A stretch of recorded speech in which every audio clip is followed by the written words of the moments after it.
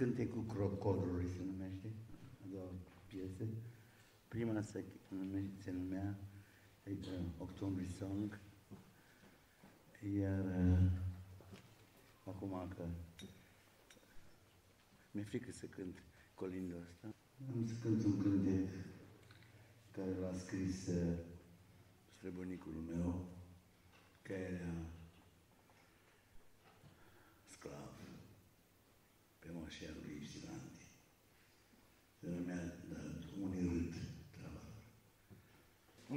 la unii străbunica mea.